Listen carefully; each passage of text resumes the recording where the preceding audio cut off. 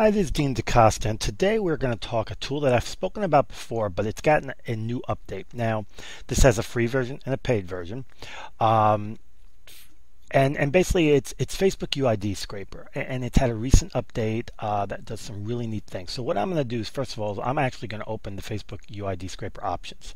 And as you can see here, normally in the free version you get the following columns, you get the UID name, link, profile. It's pretty much all you get. As you can see here, though, I have some extra things checked. Uh, current city, hometown, current work, current company skills, education, public phone, public address, public websites, public email, public Skype.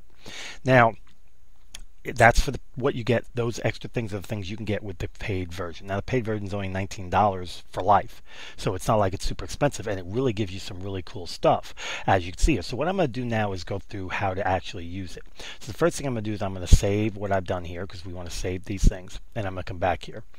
Uh, as with the uh, free version, uh, same thing. You open this up and you start searching. This is kind of like the graph search that you used to have here.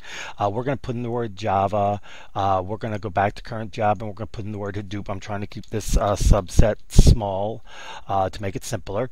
And then we're going to put a location and we're going to go ahead and go with um, Seattle and then we're going to search. And what it's doing now is it's searching through Facebook. Ah, couldn't find anything. That means I had too narrow search, and I'm 99.9% sure that that is a byproduct of the Hadoop that I added as opposed to um, to Java. So we're going to do this again, only this time we aren't going to put a specific geographical location. Uh, and we're going to do Hadoop again. And, and the, like I said, the reason for that is to try to keep the, the subset small because I don't want to pull a whole boatload of people and make this take forever.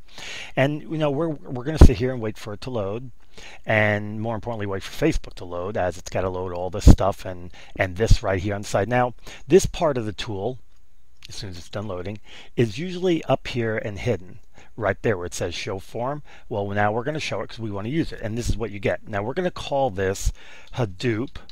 And then we're going to go ahead and add to queue. Now what it's doing now is it's bringing it over here and it's queuing it. It's basically uh, going ahead and and, and searching and getting all the information that we want. And, and it'll let us know when it's ready, which should be soon. It says queue is finished, so we're going to push OK. Now, even though that said queue is finished, it still says queuing here. I'm of the mind to kind of wait until see finish till that happens. So I'm going to open.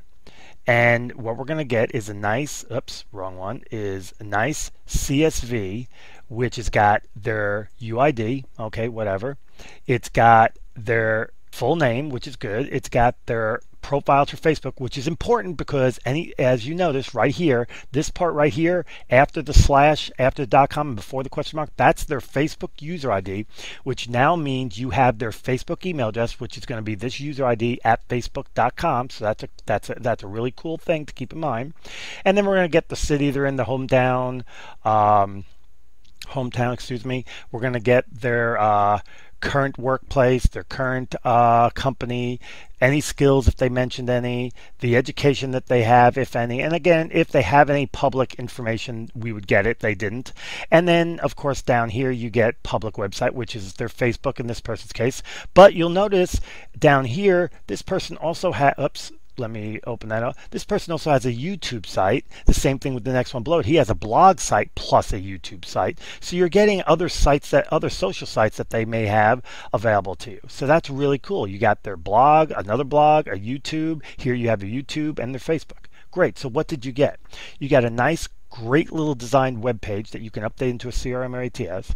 You got their Facebook, uh, you got their Facebook profile name, which now means you have their Facebook email address, and you got other sites where they may be located Facebook, uh, blogs, YouTube, what have you.